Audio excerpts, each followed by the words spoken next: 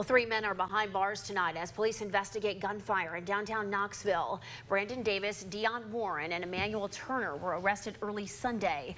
We're told the KPD officers were called to check on reports of shots fired near Gay Street just after 2 o'clock that morning. When they arrived, a car was leaving the scene.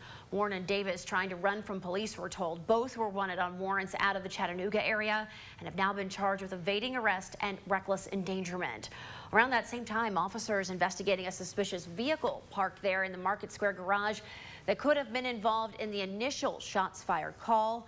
Emmanuel Turner was found with a stolen pistol. Officers say they also smelled the odor of marijuana. So far, police have not found any gunshot victims.